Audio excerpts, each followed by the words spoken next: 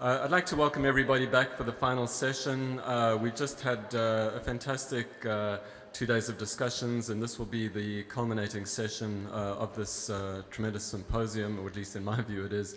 I've been you know, enthralled to hear from our panelists and speakers.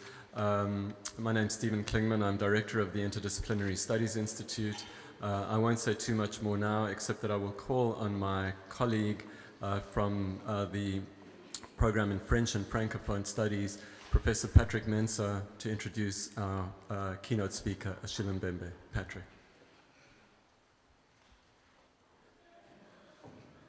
Good afternoon. Yeah, okay. Thanks, thanks. well, okay, uh, I also welcome you to this last event of the symposium. And um,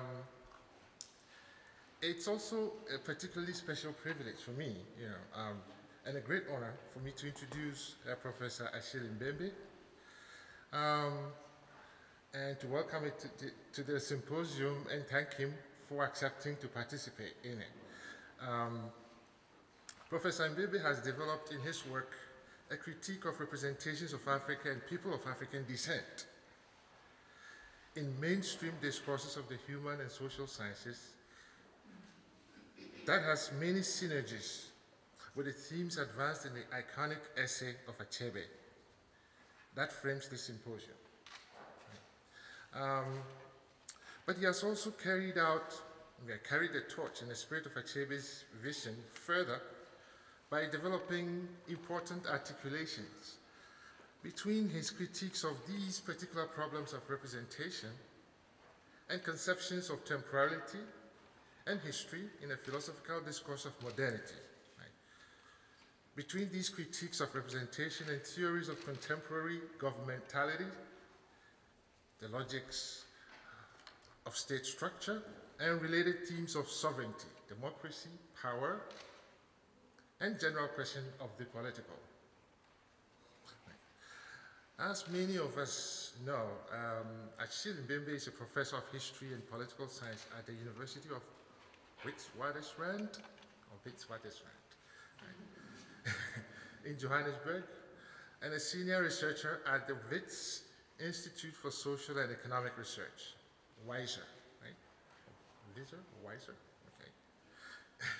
He's also a convener of the Johannesburg Workshop in Theory and Criticism. Um, he was born in Cameroon and he earned a doctorate in history at the Sorbonne in France. Now, as a public uh, cosmopolitan intellectual whose work is known around the world,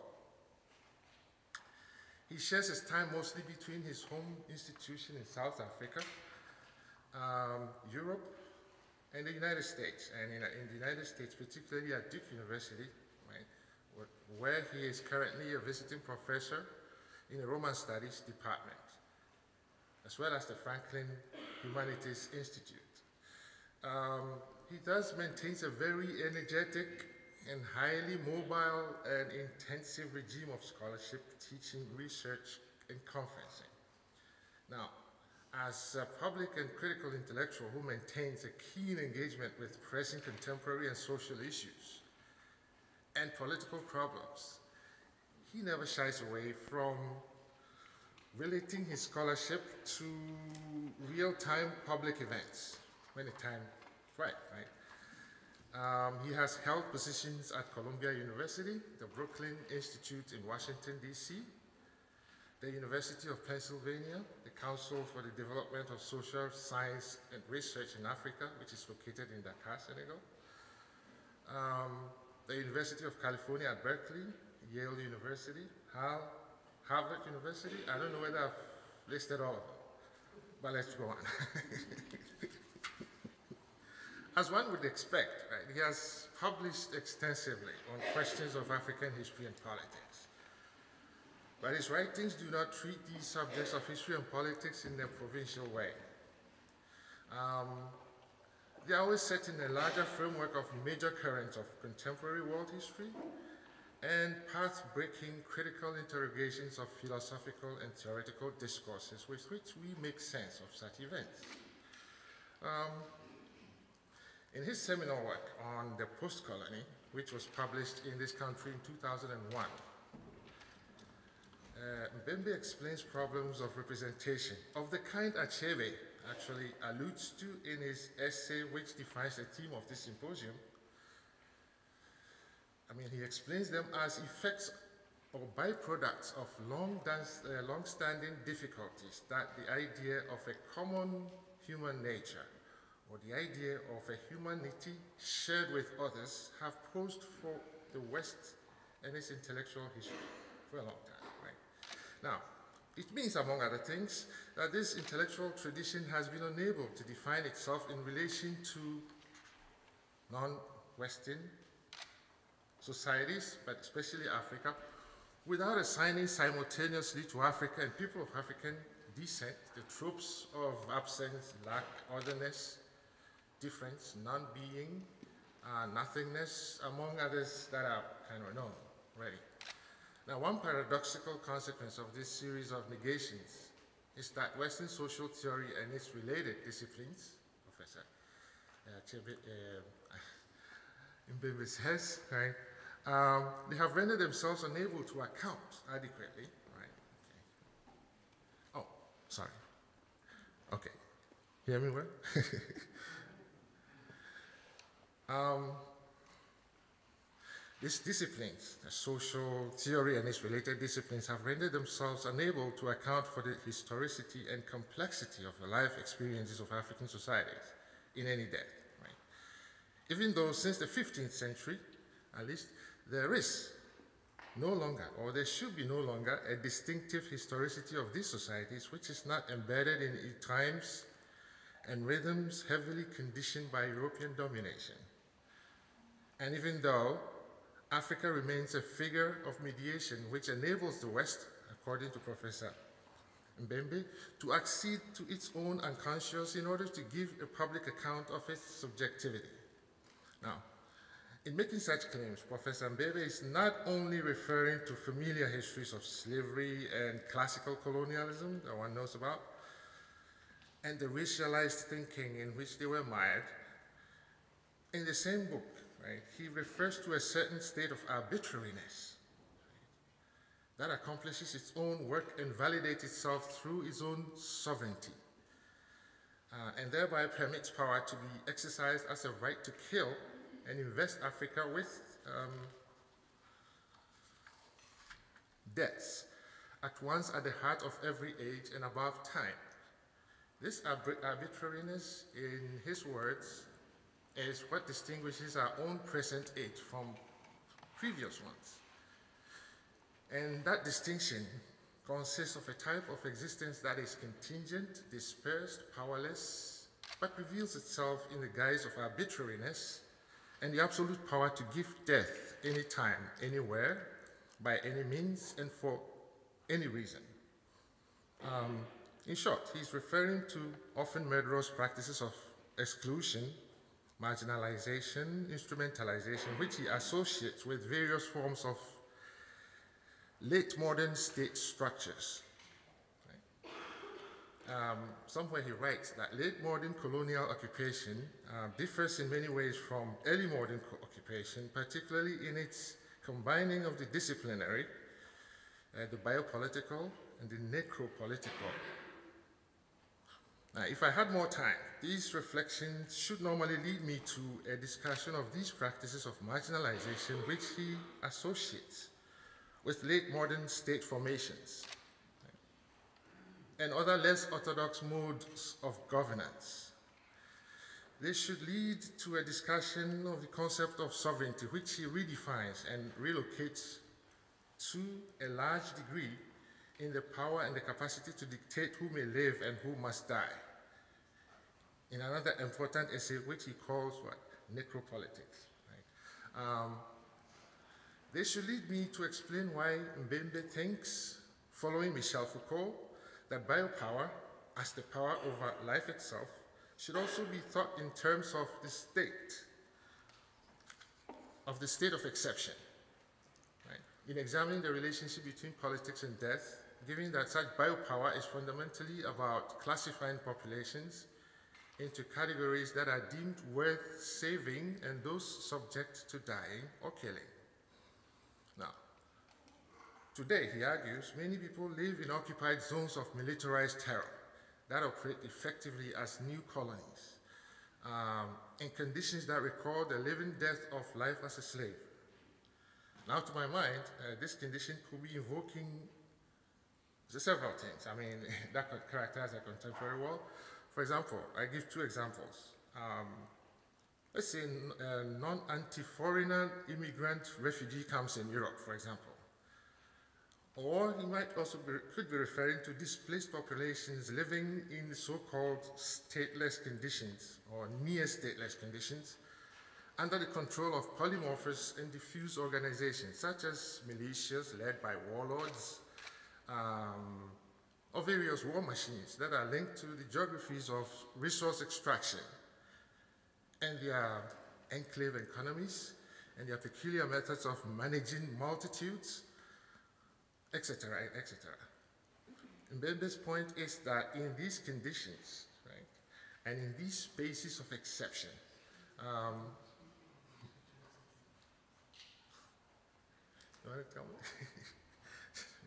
in these spaces of exception, um,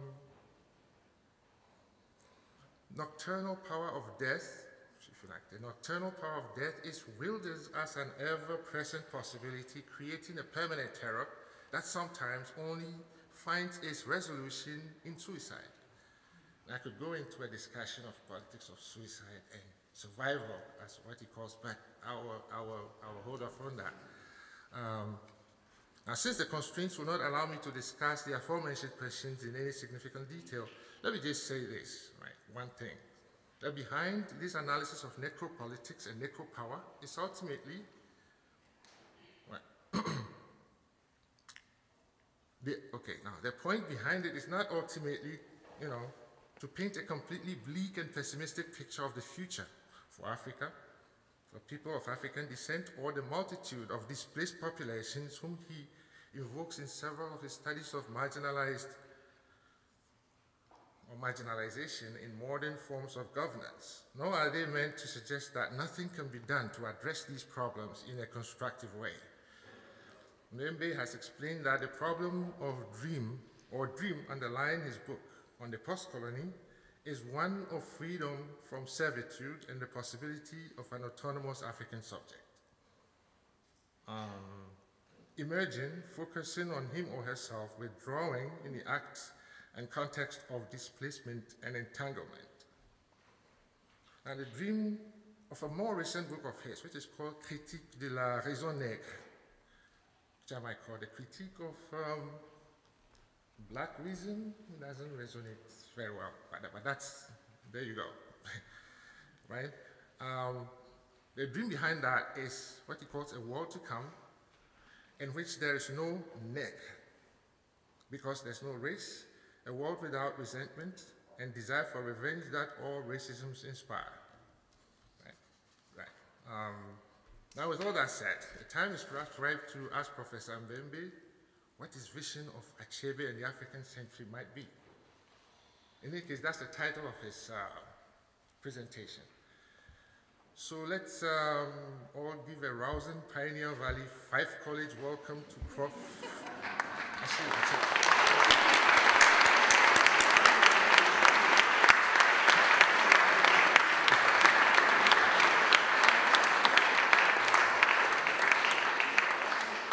I would like to thank Patrick for uh, that uh, comprehensive introduction, I have to say. Uh, uh, uh, uh, um, I was very happy when I, I got an invitation uh, to come here, an invitation from, from our dear Stefan and, and his colleagues, Joy, Sabina, Britt, Michael, and the, the sponsors of 40 years after. So I would like to, to thank them for their very gracious invitation. Um, I think that the last two days have been uh, um, um, a very singular opportunity um, to, to remember uh, a man uh, many of us have uh, only met through the living traces uh, he left behind. Uh, he left them behind in, in writing.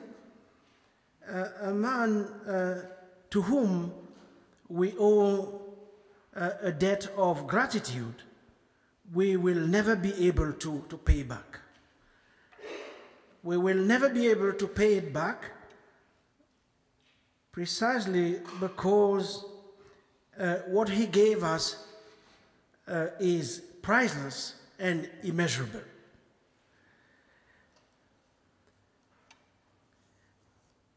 So the question is how to think with and after him.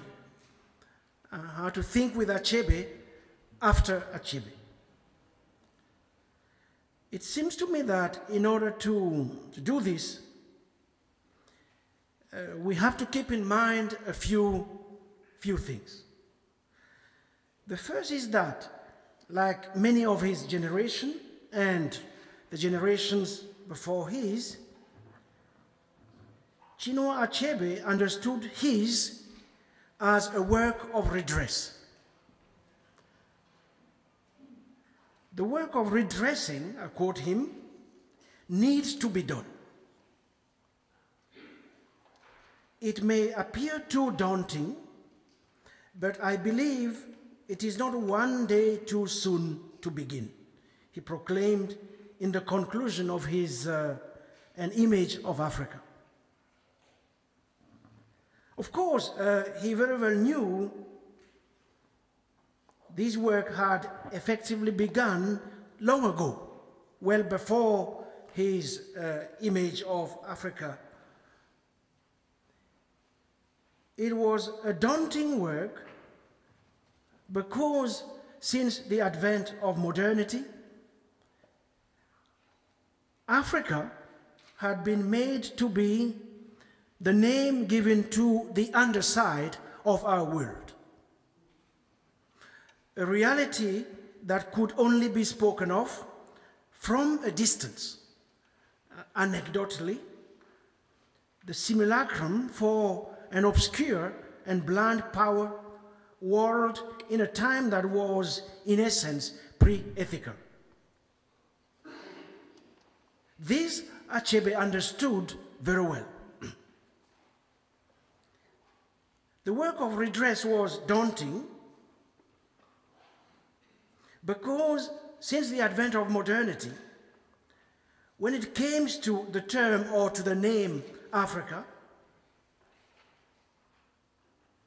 or when it comes to that name, everything flows from the extraordinary difficulty of producing a true image that can be associated to a world that is also true. Achebe knew that whenever Africa comes up in the Western Logos, the correspondence between words images and the thing matters very little.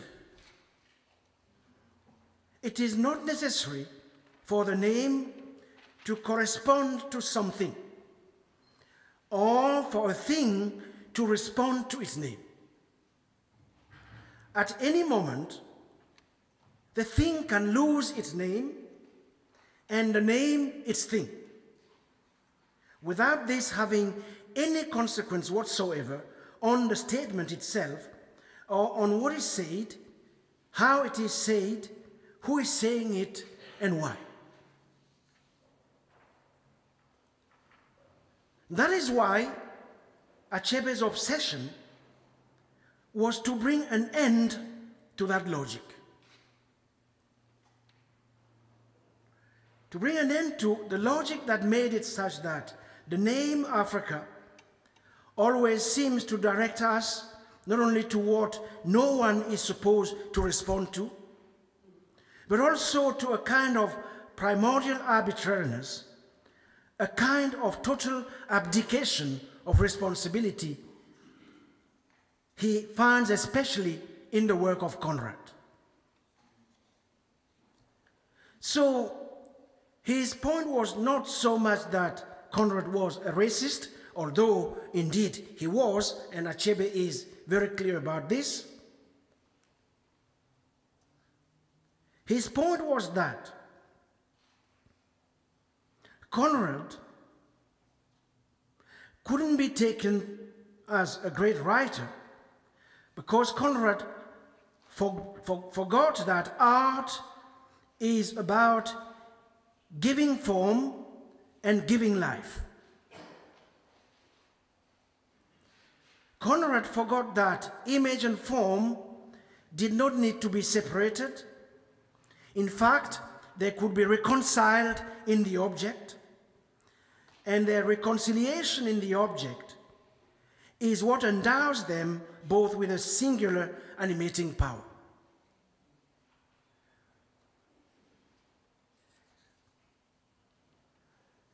In this, Achebe was to a large extent relying on what has constituted over a long uh, period of time the power or the magics of the arts of Africa and its diaspora.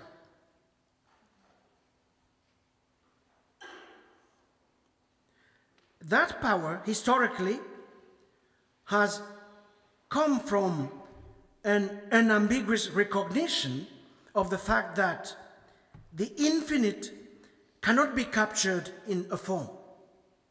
The infinite exceeds every form, even if from time to time it passes through form, that is, through the finite. But what fundamentally characterizes form is its own finitude. Form can only be ephemeral, evanescent, and fugitive.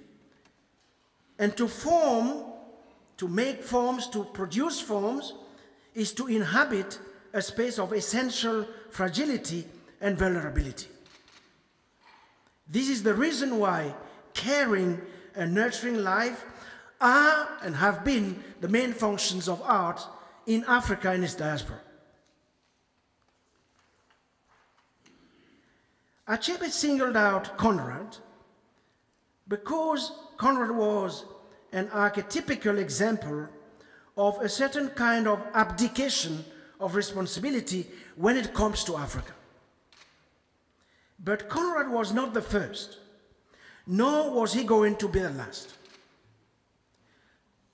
He was not the first in writing about Africa in 1830 1831 this is what Hegel, the renowned German philosopher, had to say, and I quote him The peculiarly African character is difficult to comprehend. For the very reason that, in reference to it, we must quite give up the principle which naturally accompanies all our ideas the category of universality in particular. In Negro life, the characteristic point is the fact that consciousness has not yet attained to the realization of any substantial objective existence, as, for example, God or law, in which the interest of man's volition is involved and in which he realizes his own being. Originally presented in a lecture series and later compiled in The Philosophy of History, Hegel added, and I quote him again, the Negro exhibits the natural man in his completely wild and untamed state. We must lay aside all thought of reverence and morality, all that we call feeling, if we would rightly comprehend him. There is nothing harmonious with humanity to be found in this type of character. Hegel then promised himself not to ever mention Africa again. For, I quote him again, it is no historical part of the world. It has no movement or development to exhibit. What we properly understand by Africa, he concluded, is the unhistorical, undeveloped spirit still involved in the conditions of mere nature. End of quote. So Conrad was not the first, nor was he going to be the last. More than a century after Hegel's ruminations, Robert Kaplan, a US journalist and policy pundit, published The Coming Anarchy, a devastating portrayal of West Africa in the February 1994 issue of the US monthly magazine, The Atlantic. The Cold War had just ended, and most of the Western world was triumphantly riding on the peak of optimism. Celebrating this triumph of the West and of what he called the Western idea, Francis Fukuyama, writing in the 1989 issue of the National Interest, an American bi-monthly international affairs magazine, suggested, quote, what we may be witnessing is not just the end of the Cold War or the passing of a particular period of post-war history, but the end of history as such. In his scenario for the 21st century, the post-historical century, if we are to uh, stick for a moment with Kaplan's, sorry, Fukuyama's periodi periodization, in, in that scenario, Kaplan argued that West Africa, in particular, was becoming, and I quote, the symbol of worldwide demographic, environmental, and societal stress, in which criminal anarchy emerges as the real strategic danger. Disease, overpopulation, unprovoked crime, scarcity of resources, refugee migrations, the increasing erosion of nation states and international borders, and the empowerment of private armies, security firms, international drug cartels are now most tellingly demonstrated through a West African prism.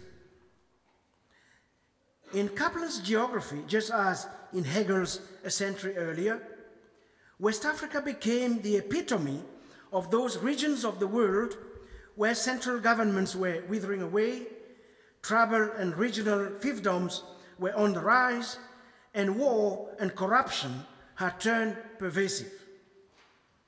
West Africa, Kaplan argued, was reverting to the Africa of the Victorian Atlas. It consists now of a series of coastal trading posts such as Freetown and Conakry, and an interior that, owing to violence, volatility, and disease, is again becoming, I'm still quoting him, as Graham Greene once observed, blank and unexplored. Kaplan invoked the English political economist Thomas Malthus, describing him as the philosopher of demographic doomsday and a prophet of West Africa's future. And West Africa's future eventually will also, quote him, be that of most of the rest of the world in an age of cultural and racial clash, he concluded. This apocalyptic view of Africa's future was echoed in 2000 when, building upon Hegelian tropes once again, the influential UK financial weekly, The Economist, declared that Africa was hopeless. In a famous editorial titled Hopeless Continent, it conjured up images of destitution, failure and despair, floods and famine, poverty and pestilence, brutality, despotism and corruption, dreadful wars and plunder, rape, cannibalism, amputation, and even the weather to suggest that Africa's future was definitely doomed. Foreign aid workers, peacekeeping missions, humanitarian agencies, and the world at large could well give up. So deeply, and I quote, buried in their cultures were the reasons for so much human misery, uh, it concluded. So, as we uh, stand here to remember Achebe, poverty and unemployment are still widespread on the continent. In some instances, more so than in other, any other emerging markets, to use uh, that uh, Uh, term. In many quarters of the rich world, Africa, with its apparently never ending tales of disorder, still inspires pity and disbelief when it does not elicit deeply held humanitarian and philanthropic impulses, and of course, the contempt that usually comes with them. People still struggle to make ends meet, but these days, where don't they? They still demand products that could be both cheap and reliable. Needs are still obvious. Scarcity is still a fact. They don't always have enough to eat. They may lack education. They may despair at daily injustices. And some want to emigrate. Many still fear a violent or premature end. But that's not all. Secondary school enrollment has grown by 48% between 2000 and 2008. Over the past decade, malaria deaths in some of the worst affected countries has declined, declined by 30% and HIV infections uh, by 74%. Life expectancy across Africa has increased by about 10%, and child mortality rates in most countries have been falling steeply. Over the past 10 years, real income per person has increased by more than 30%, whereas in the previous 20 years, it shrunk by nearly 10%. Only 20% of the continent's 1 billion people are online. But that share is rising rapidly as mobile networks and are rolled out and the cost of internet capable devices continues to fall. As a matter of fact, more than 720 million Africans have mobile phones and 100 million were on Facebook by 2014. Mobile telephony, in particular, has revolutionized the ways Africans interact and the way small and medium enterprises, farmers, and informal traders operate. As a result, mobile revenue is today equivalent to 3.7% of African GDP, more than triple its share in developed economies where it was an incremental innovation.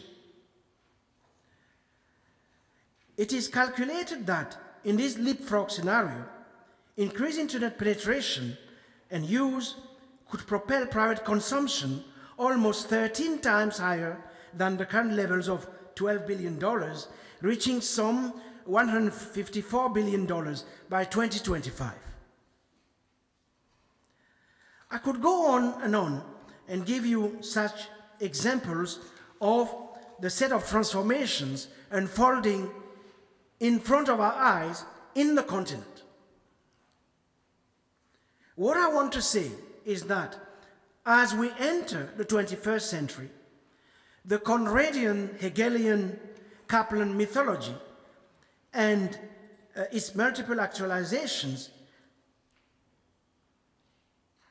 either manifestly no longer holds or is under severe duress. Something else is going on. It is being picked up both by Africans themselves. And curiously enough, but we should, shouldn't really be curious, uh, express curiosity in this, by the world of high finance. A tacit consensus is emerging around the idea that after China, what is going on in Africa will have a huge impact not only on Africa as such, but on our planet. The emerging tacit consensus is that the destiny of our planet will be played out to a large extent in Africa. If there is one single idea I wish you to take from this intervention, this is it. The planetary turn of the African predicament. This planetary turn of the African predicament, I suggest, will constitute the main cultural and philosophical event of the 21st century. It will take us far away from the Hegelian Conradian myths I cited at the start of this lecture, myths which, as I also suggested, Chinua Achebe spent a huge part of his life trying to dispel. This planetary turn of the African predicament is the result of an ongoing, not yet entirely manifest, but an ongoing conceptual shift about which I would, I would like to make three comments. Firstly, that Africa is gradually perceived as the place where our planetary future is at stake or is being played out. This is due to the fact that all around the world, and especially in Africa itself, older senses of time and space, based on linear notions of development and progress, are being replaced by newer senses of time and futures founded on open narrative models. And what strikes me about Chinua Achebe's uh, concept of the story which we have been speaking about a lot over the last, uh, since yesterday, it is his attachment to the idea of an open story. As opposed to a closed story, a la Fukuyama, history is finished. Welcome to melancholia and boredom. If anything, Africa is not a place where we are bored. And we find in the work of Chinua Achebe in his concept of the open story enough cultural, artistic, political resources to make sense of these times of ours. Secondly, within the continent itself, its artists, its music, its painting, its professionals, younger generations of professionals, most of whom have a, an acute sense of the world as well as an acute sense of their own location. They have traveled abroad. Some of them are coming back. Others are moving to new uh, locations in the planet, especially Asia, China, India, Turkey, the Gulf countries, within the continent itself, Africa's future is more and more thought of as full of unactualized possibilities, of would-be worlds of potentiality. Many increasingly believe that through self-organization and small ruptures, we can actually create myriad tipping points that may lead to deep alterations of the direction the continent is taking. This was not at all the case when I returned back to Africa in 1996. Thirdly, In fact, it has of late been a matter of tacit consensus once again, especially among international financial institutions, that Africa represents the last frontier of capitalism. Whether this is good or bad, of course we have to debate it. But the fact is that many now recognize that the continent represents the last frontier of capitalism. Of course, this last claim is contested in various quarters. But there is nevertheless ample evidence to support it. I'll give you two examples. The first relates to an obvious fact. Africa's economic pulse has been quickening during the first decade of the 21st century. Real GDP rose by 4.9% a year from 2000 through 2008, more than twice its pace in the 80s and the 90s. Of course, when I say that, I mean, I'm opening a Pandora box. Who benefits from it? Why is it that growth is not translated into employment? Why is it that in a country like South Africa, inequalities have not stopped expanding over the last 20 years? Of course, these questions are with us. And yet, the fact is that the amount of wealth created in the continent has expanded.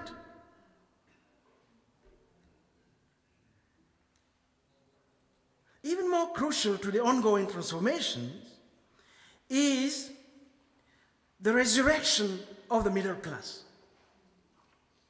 I say resurrection because historically we have had a middle class, I would argue, from uh, the early pre- uh, colonial period up to uh, the end of the 70s.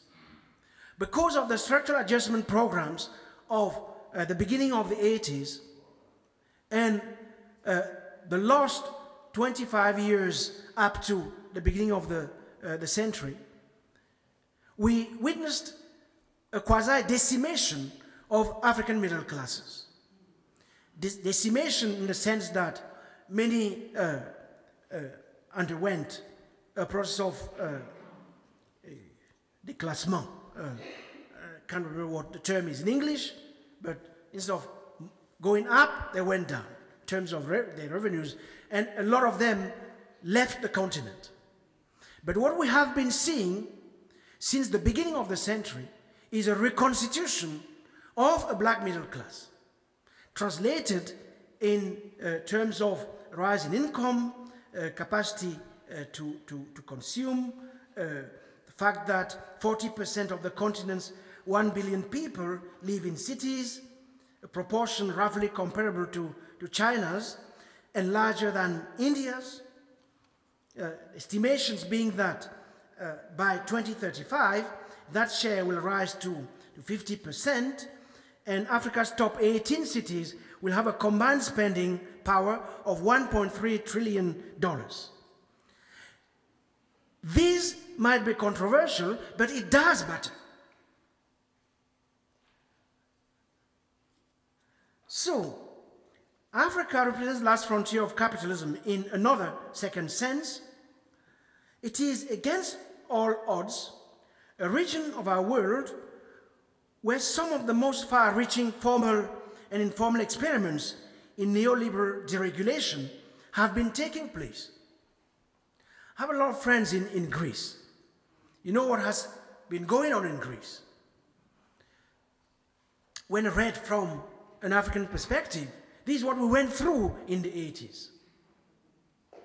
It is in Africa that we have seen the most far reaching, both formal and informal experiments in neoliberal deregulation, with the, the range of consequences this has entailed uh, uh, both there and uh, uh elsewhere. Even more decisively, This is the region of the world where the relationship between transnational extractive projects, which underpin uh, a huge part of Africa's economic growth uh, during the late 20th and early 21st century,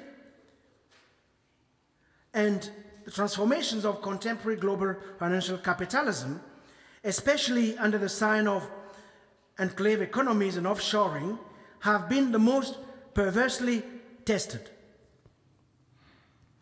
During the last decade, Africa made its greatest ever contribution of illicit, uh, you, you mentioned it, financial outflows and net income payments to the rest of the world. I could give you uh, uh, extended figures about this. So the point is that as a, a site of experimentation, Africa's extractive economies have been deeply involved in and will keep contributing to uh, the shaping of key aspects of contemporary financial capitalism. The remaking, for instance, of the corporate form at the global scale, the structures and conditions of corporate activity, and what it means to incorporate in the first years of the 21st century. Uh, same with the monetization of risk, a key structural feature of contemporary futures markets. All of this has been shaped to a large extent by experiments with new forms on the African continent. So have been offshoring, including of means of violence, private contracting, including of security services, gambling, other economically uh, stigmatized activities, and various invocations in the field of tax avoidance. So the point is that all of this is murky. Uh, it's not a one-way traffic, it's murky, but it's open-ended. It's open-ended, and what it ends up becoming will depend to a large extent on the quality of the new social struggles that are unfolding almost everywhere in the continent, both in uh, their urban form and even more importantly, in their rural form. So, the current moment in the continent can be characterized as a moment of acceleration. The question is acceleration towards what? What are the forces behind this acceleration? Is such a historical trajectory sustainable?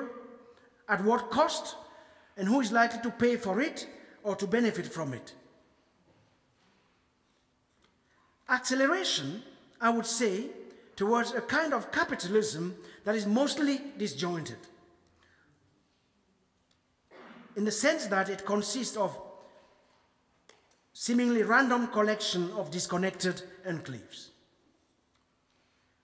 These enclaves are incongruously linked together in a contrived form that cannot be easily grasped within the conventional analytical paradigms.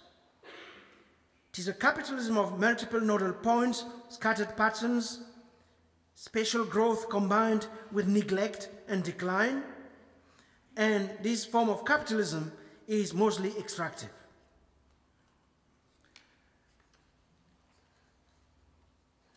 What is even more, uh, say, uh, striking is the fact that just as Africa is now not only uh, uh, is now a planetary question, as I was intimating earlier on, it is also more and more specifically a Chinese question.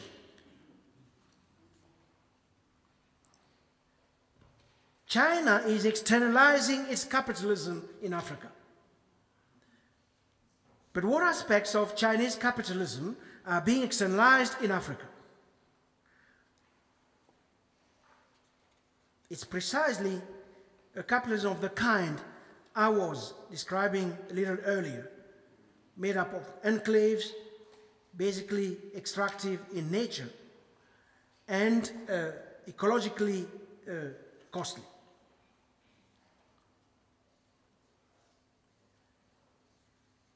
I mention the ecology because people across the continent have been living with and adapting to a high degree of climate variability and its associated risks for centuries.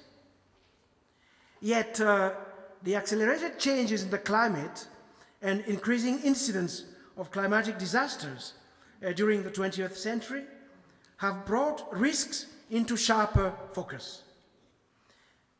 They threaten to erode Africa's natural assets, land productivity, livestock, water and energy resources, its capabilities, health, nutrition, education, while keeping the region in a low human development tra uh, trap. This scenario is exacerbated by the continent's natural fragility. Two thirds of its surface area is desert or dry land. Its terrestrial and coastal ecosystems are highly exposed to natural disasters. The region's livelihoods and economic activities are very dependent on natural resources and rain fed agriculture. I could go on and on with this. But the continent is central to the global environmental crisis and holds some of the most potent solutions to the global ecological trap overshadowing the 21st century. Although its forest coverage has shrunk, Africa is the home to the second largest mass of tropical forest in the world, uh, which means that the carbon storage capacity of African bio, uh, biotopes is considerable. And at a time when global emissions are rapidly rising, this gigantic carbon capture machine is, uh, like agricultural land, one of the essential elements of climate control. By which I mean that if we are to tackle what is arguably the biggest threat to human existence in our times, we will have to deal with Africa.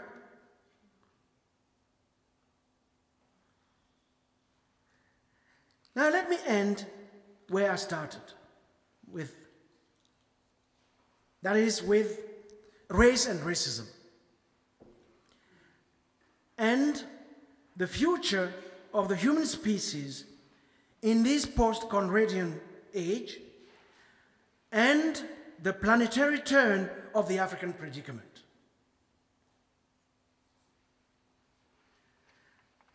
As we speak, race has once again re entered the domain of biological truth, viewed now through a molecular gaze. A new molecular deployment of race has emerged out of genomic thinking. Worldwide, we witness a renewed interest in terms of the identification of biological differences.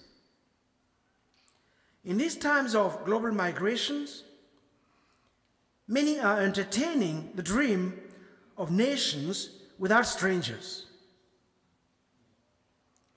Genomics has injected new complexity into the figure of the human. We have been wondering about the figure of the human Achebe was grappling with. And yet, the core racial typology of the 19th century still provides the dominant lens through which this new genetic knowledge of human difference is understood, and indeed is taking shape and entering medical and lay conceptions of human variation. Fundamental to these ongoing rearticulations of race and these recordings of racism are developments in the life sciences. I already mentioned genomics. I should add our renewed understanding of the cell, uh, neuroscience, and synthetic biology. The last quarter of the 20th century has seen the rise of a molecular and neuromolecular style of thought that analyzes all living processes in body and brain in terms of the material properties of cellular components such as DNA bases, uh, ion uh, channels, membrane potentials, and the like. This process continues to wield influence in the 21st century. It is a process that has been rendered even more powerful by its convergence with two parallel developments. The first is the emergence of the digital technologies of the information age, and the second is the financialization of the economy. These developments have in turn shaped two sets of consequences. On the one hand, there is a renewed preoccupation with the future of life itself. Something that is not really part of Achebe's critique of uh, Conrad's racism. Future of life itself, and on the other hand, uh, capital uh, and uh, the work it is doing under contemporary conditions. So we now realize that there is probably more to the idea of race and racism than even Hegel or Conrad imagined. Because race thinking increasingly entails profound questions about the nature of the human species in general, the need to rethink the politics of racialization and the terms under which the struggle for racial justice unfolds here and elsewhere in the world today has become ever more urgent. It cannot be done uniquely through Achebe's lenses. That's the point I'm trying to make. We need to supplement Achebe if we are to address the new rearticulations of racism, the recording of racism in the world of our times. Racism is still acting as a constitutive supplement to nationalism. How do we create a world beyond nationalism? Behind the veil of neutrality and impartiality, racial power still structurally depends on various legal regimes for its reproduction. Since we are in America, how do we radically say the law, transform I the mean, law? For instance, the police. Even more ominously, as I intimated, race politics is taking a genomic turn. In order to invigorate anti racist thought and praxis, and in order to reanimate the project of what we call in South Africa non racialism, we particularly need to explore the emerging nexus between biology, genes, technologies, and their articulations with new forms of human destitution.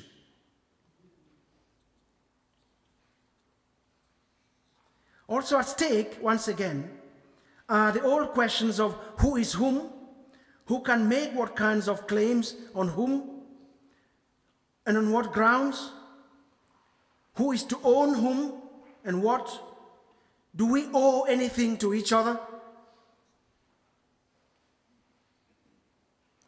So, in a contemporary neoliberal order that claims to have gone beyond the racial, the struggle for racial justice must take new forms.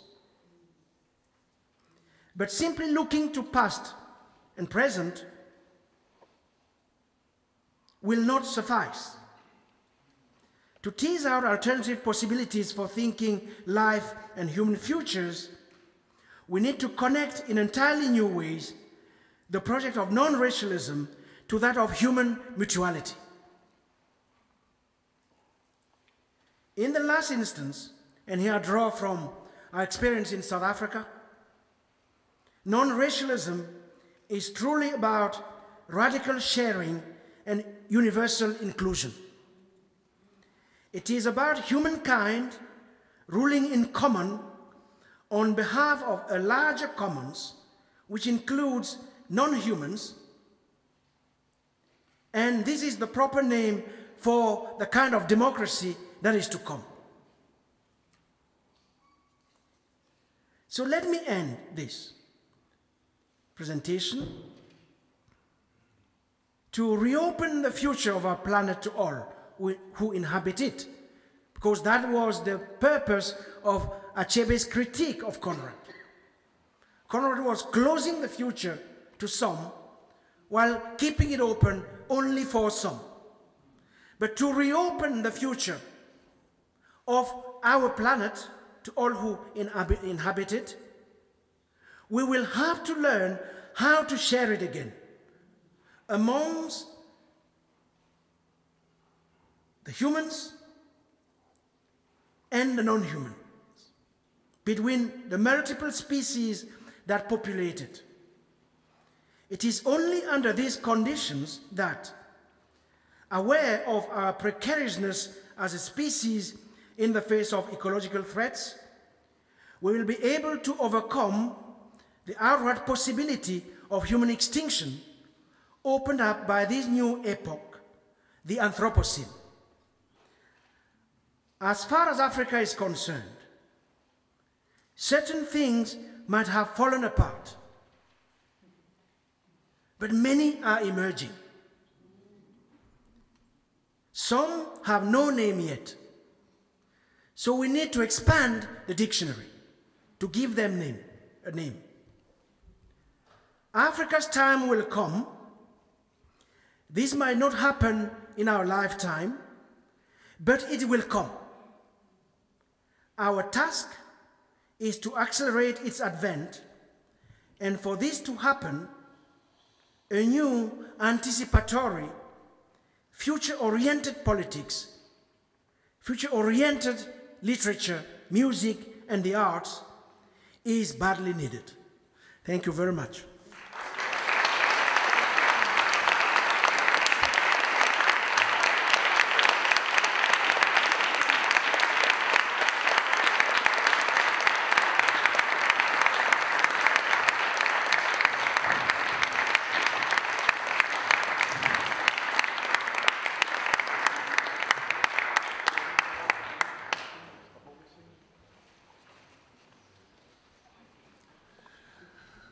Okay, um, my thanks to Professor Mbembe for an invigorating talk.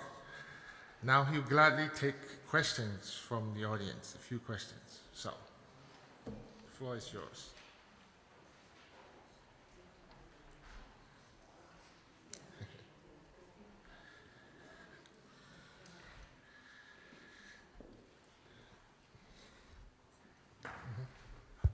Okay.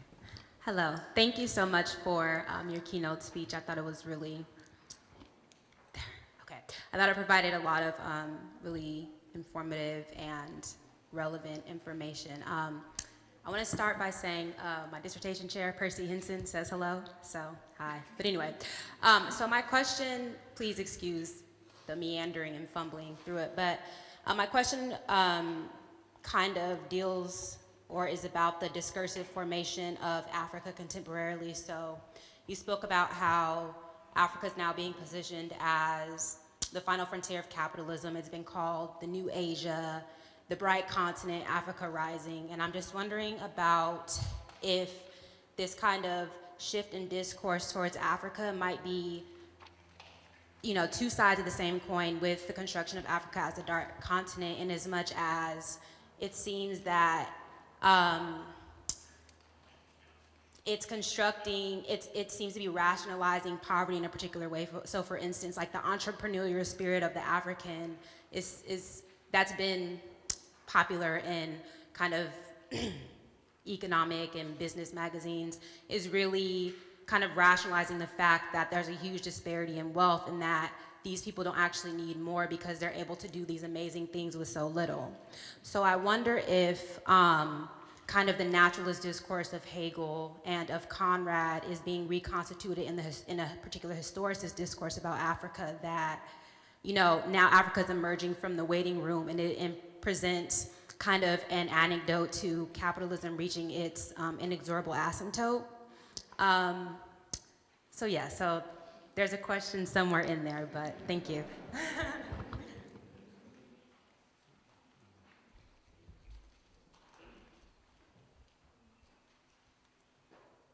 Look, the, the, um, uh,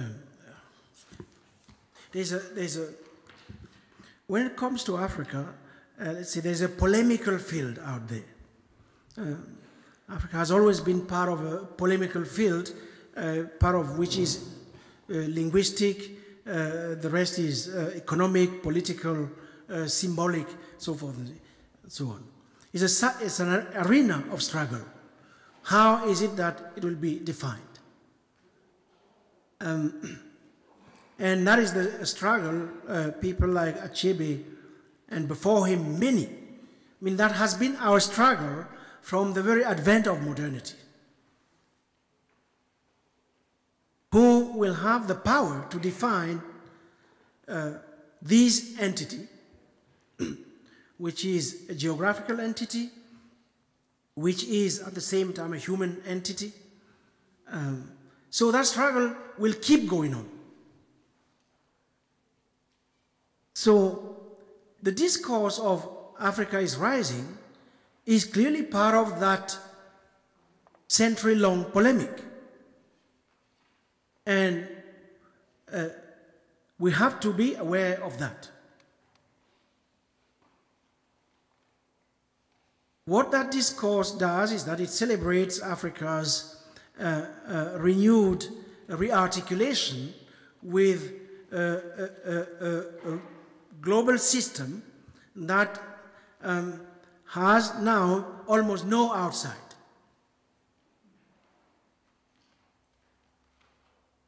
A position which itself is a bit unhistorical because, in fact, Africa has always been part of it. In fact, Africa was there at the very moment when it, it was constituting itself. And as a consequence of which, there's no history of the world that is not African to some extent. So it's a polemical field. We have no choice. We have to, to, to, to, to do battle in that field. But more importantly, Africa has to become its own project. From the 19th century on, in the writings of African Americans, people from the diaspora, the people on the continent itself, our big preoccupation has been how is it that Africa becomes once again its own center? And what I was suggesting is that the project of Africa becoming once again its own center is back on the agenda in the continent itself. Not only with the African Union, the limits of which we know of, but more importantly, in the consciousness of our times. And that seems to me to be a, a, a very important rupture. So, the question, once again, that is what it is. How is it that Africa will become its own center? For its own sake, but also for the sake of the planet. That our planet, as it faces these tremendous threats, some of them ecological, others related to a rampant form of economic exploitation that has invested not only economic resources, natural resources, but life itself. Now, that, that it might be that the um, re-emergence of the continent as its own center is probably the condition for uh, the, uh, I don't want to use theological terms such as salvation or redemption, but, but, but that uh, um, the, it, is, it has become somewhat the condition for a rejuvenation of our planet uh, as we enter these epochal change are called, or many have called, the Anthropocene. So that was the, uh, that's the historical, let's say, set of reflections, a reading of Chinua Achebe's piece forces us to engage in. With him, but also after him. And if necessary, although I didn't hear too much of that since yesterday, against him,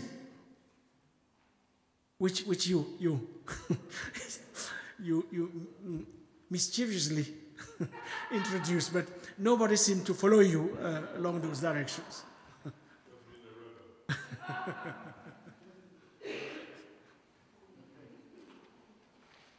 Thank you, Professor Mbembe, for a very stimulating talk. Uh, I want to return again to the metaphor that you use of Achebe's open story. Uh, can you tell us, in your estimation, what the place of infrastructure and new kinds of leadership are in determining uh, a, determining a more a sanguine ending to this open story, particularly when you we live in an era where uh, the imperial supply chains for things like platinum uh, and other strategic raw materials that uh, reside largely in Africa are in a moment of, uh, well, I wouldn't call it stagnation, but I mean, there's huge stockpiles of platinum uh, in, in your adopted country, South Africa. Uh, and the auto industry is undergoing uh, tremendous transformation as a result of that. There's a hastening toward electric cars as a result of all of that. So where, where, where would the, the sort of opening up the infrastructure, expanding Africa's infrastructure and uh, acquiring a new kind of leadership which could bring this sort of moment of, of stasis to an end, where do they stand, where do they play, how do they play in your, the open story? I mean, this is a, um, uh, it has to be a, a point of, of, of, serious debate. The, um, um, the, uh, the, hypothesis I was, I was putting forward is precisely that uh, this is not a moment we can characterize as a moment of stasis.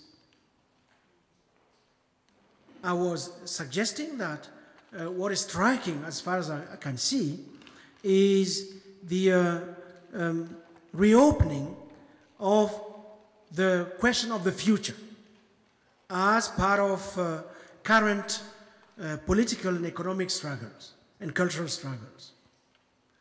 I was suggesting that something is, is moving. In the 80s, um, we clearly were uh, witnessing a historical moment of, of decline. All the signs of decline and stasis were there. That is no longer the case. But maybe it might be uh, more uh, um, prudent or cautious to simply argue that uh, Africa is going in multiple directions simultaneously. In the 80s, we knew where it was, it was going backward. Today, we cannot say that. And we have to take it seriously. So, it's going in many different directions simultaneously, which means that anything can happen. Anything can happen depending on the, um, the ways in which the social forces will, what social forces will be able to organize themselves. Depending, of course, on what social forces are carrying uh, uh, what forms of, of leadership. But as, as Chima was uh, telling us uh, in the early afternoon, um, leadership, of course, is important, but, but systemic things, that is where we have to, to put our, our attention. Um, you mentioned platinum uh, in the case of South Africa. I mean, or, or for that matter, coltan in the Congo. Uh, uh, the continent is a geological scandal in, in, in whatever uh, uh, uh, form we want to, to take it. Um, and, and, here again, um, what is really important are the actual social struggles that are going on around these mineral resources. In South Africa in particular, uh, you see, I mean, this will take a little bit of the development for those of you who are not familiar with the history of the place. Um, white people occupy something like, uh, um, can't remember the exact figures, but 100 minus 13 is uh, 70, 77%, whatever, of the land. Uh, black people occupy 13% of the land. Early on, they were relegated to those uh, uh, territories uh, because they were deemed to, to be useless, basically. These were like reserves, the Bantustans, the homelands, overpopulated, overgrazing. Um, people struggled to, to, to reproduce themselves under those conditions. These were uh, territories that were basically uh, like warehouses where cheap labor was, was, was uh, uh, it wasn't like, like here in America where, I mean, prisons serve that, that purpose, especially for black people. Uh, in South Africa, it was something else. Cheap labor, uh, that's how you uh, managed it. What has been discovered then is that in, recently is that, in fact, um, those territories are not as poor as it was thought. That in fact, underneath those reserves lie huge mineral wealth. So these former reserves have become the new frontier for extractive forms of accumulation. Such is the case, for instance, in the whole platinum belt in the Gauteng uh, in particular. So what you see is a new uh, um, cycle of struggles as to who will control the process of extraction or the new process of accumulation rendered possible by the availability of these, this wealth. So what the government is doing under Zuma is that uh, since these territories were supposedly ethnic entities um, ruled by chiefs, he is trying to give more power to the chiefs who control land, who can then transact it with uh, uh, capital, monopoly uh, mineral capital. So you see a whole set of things going on there, which blow up once in a while. Some of you might have in mind what happened in Marikana, where 34 miners were killed in broad daylight by the police, an arm of a government that is controlled by black people. Black people killing black people.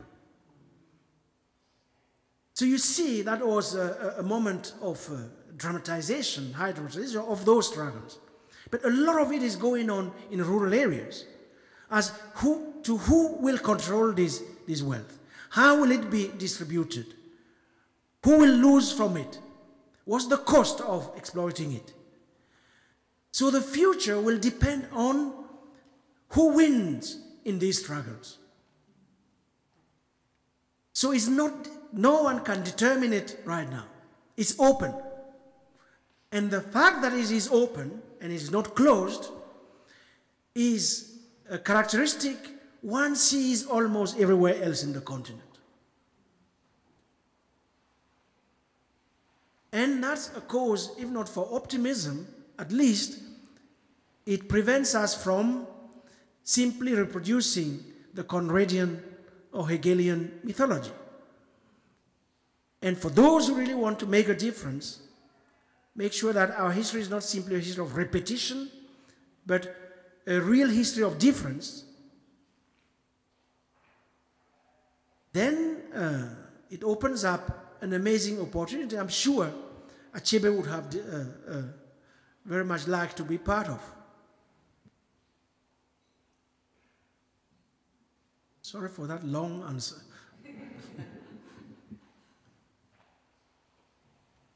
Well, let me ask you how far we can open it up in our own minds. Uh, I spent most of my professional life in and out of India. And the idea of development economics was a big program in the US and Europe and India. Both China and India, even the Soviet Union, going back a little further, their idea of development was more industrial development, right? Can Africa develop in an industrial way? Uh, I don't know who you, you have to do capitalism to someone, and I don't know who the Africans are going to do it to. So my question is, is there in fact a way other than industrial and development? What do you see that's concrete that really opens up in a different direction? It won't happen without some form of industrialization. Uh, that industrialization might not take exactly the same uh, form as what happened either in Europe in the 19th century or, or in China recently. But, but very clearly, it won't happen without some form of industrialization. And a number of uh, people are working on it. Uh, um, the, um, how far can we open up our, own minds? Uh, I think, I mean, that's a question for, for you guys. Um, uh, we, we have our own questions, but it's probably not one of ours. Uh, the Chinese, for instance, are, seem to be uh, embracing that question much more uh, um, in, in a way that is much more dynamic than the West, which, as we know, is trapped in, in these mythologies we have been talking, talking about. The, um, what, what strikes me, I mean, I live, I've been living in Johannesburg for 15 years. I, I move around, as Patrick uh, uh, uh, suggested. Um, you see the difference when you, you travel, for instance, from, you, you catch a flight from Johannesburg to Shanghai. Uh, there are two flights every day. Um, you see the difference between a flight going from Johannesburg to Shanghai and a flight going from Johannesburg to London. Um, a flight, or a flight, for that matter, going from Johannesburg to Lagos. You should see, you should, you should, you should travel from Johannesburg to Lagos. All kinds of people. Afrikaans, Afrikaner speaking people, uh, white businesses, new black capitalists, Nigerian uh, uh, business operators. When you put together Afrikaners and Nigerians, you produce something really extraordinary, which, which I haven't seen elsewhere. So these things are happening. A new cartography is in the making.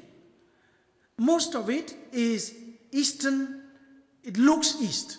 Of course, we still have traffic you know, coming to uh, the Atlantic seaboard and all of that. But the most dynamics are within the continent itself and in relation to China. I was in Shanghai a year and a half ago to some, some conference. And at the end of the conference, my host tells me, oh, look, come, I'll show you something. I'll show you how Africans live in China. He drove me uh, 60 or 70 kilometers out of Shanghai into an entirely a city of the kind I had never seen before. Nigerians, Ghanaians, Ugandans, uh, Kenyans, uh, uh, Gambians, people from the Cameroons, uh, Senegal, owning shops, uh, business going on, some of them students, others doing all kinds of works, mixing up with the Chinese. We met some, some, some uh, families begin to see the emergence of Afro-Chinese young people with eyes like this. Something I had not seen before. And uh, they, they, the traffic is intensifying. New trading colonies, African trading colonies, establishing themselves in major cities in China itself, in Hong Kong, and in some other parts of Asia. So, what's going on is that the map of our world is changing. Unfortunately, we don't have the discourse on that, those changes is lagging, lagging behind. China Africa uh, cooperation, for the time being, is mostly economic. There's no cultural discourse that is accompanying it. Of course, you have a huge anti Chinese sentiment in most parts of the continent. Partly because there's no African metropolis today that doesn't have its Chi Chinese neighborhood. You see Chinese in Douala, Cameroon, for instance, competing with locals in informal trade, in addition to those who come under the banner of uh, Chinese major uh, corporations.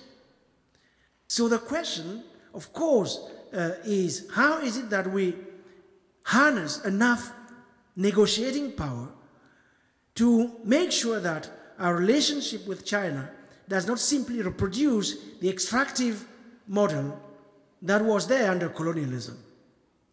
But in order to do that, we need a systemic rearrangement of our own polities and the invention of new forms of leadership that can are responsive, accountable uh, to their own people, which is a bit hardly the case right now. But all of that is exhilarating. It is a kind of thing that project that is it is something that gives content to the idea, a Achebe idea that Africa is above all a project. If I take one thing from Chinua Achebe's uh, writings in relation to the continent, it is that Africa is a project.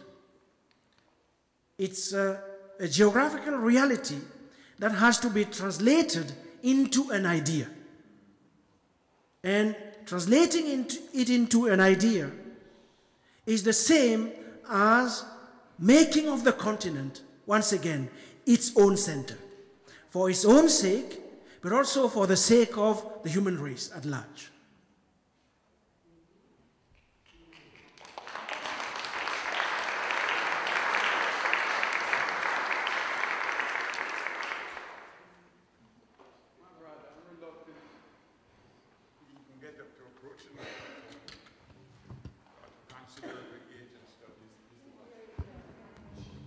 See, I'm reluctant to ask this question because the last thing you said about Africa becoming a center and looking forward in a positive developmental way is something profoundly to be wished. But the text of your speech confused the hell out of me. I mean, I'm a poor old man, culturally deprived Caribbean Negro. But it sounded to me like you said, you started out with a whole list of the denigration of Africa's character and possibilities. And then you went on to, that hasn't changed, you went to modern, you went to The Economist, and you went to various journalists, recapitulating the same thing.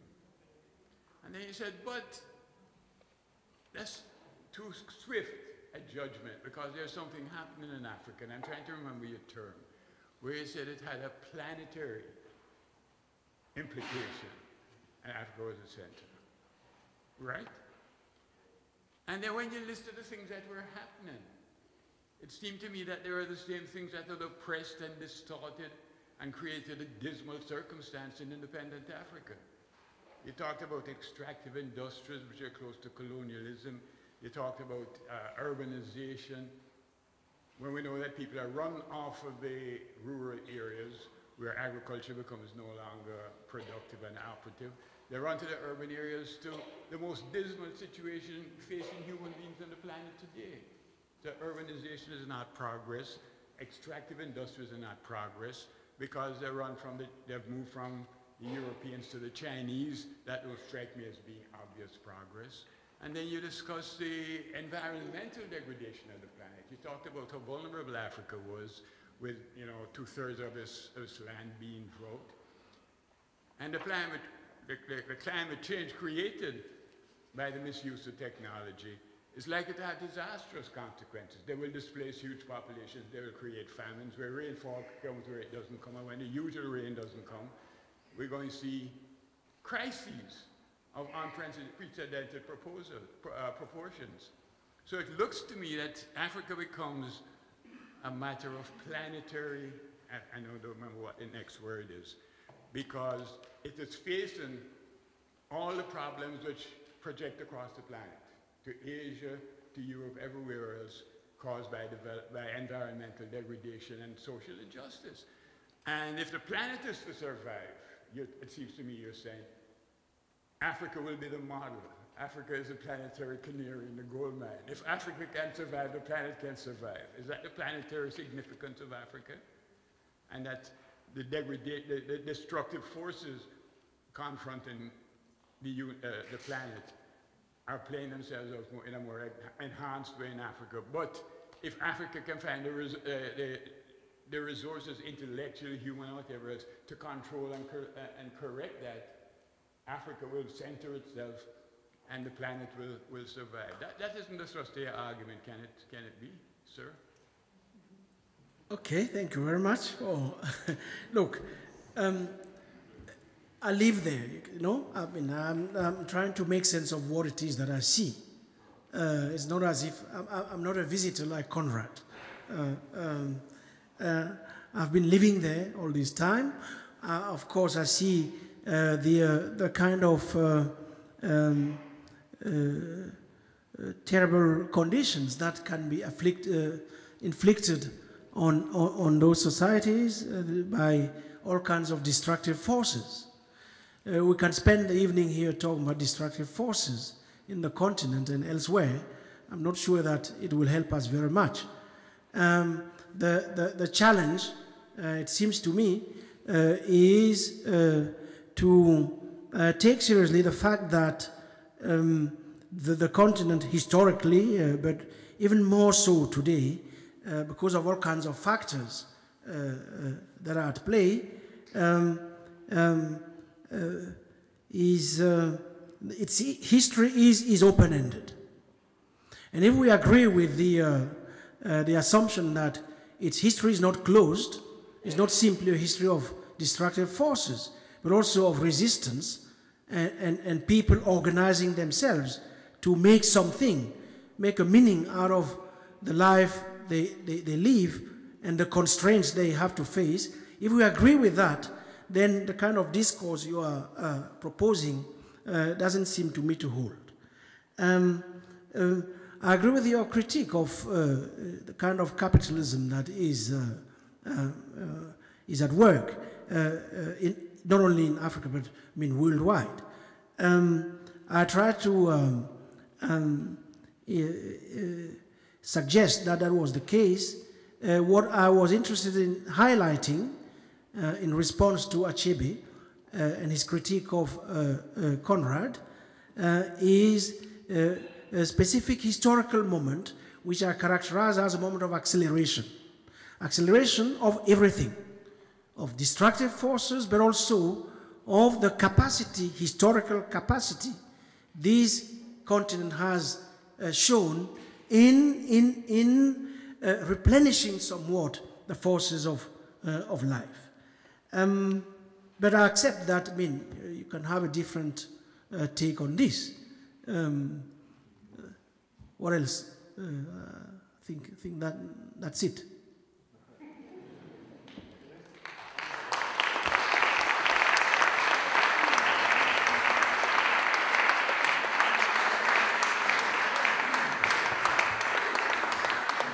That brings our proceedings to a close. I want to thank uh, Professor Mbembe. I want to say thank you very much to my co-organizers, Ekwueme Michael Thelwell, Joye Bowman, Sabina Murray, Britt Rusert. I want to thank uh, my assistants at the ISI, Amanda Warlagji and Wouter van Over, who's done an, who've done an incredible job. I especially want to thank all our speakers today, all our panelists today and yesterday.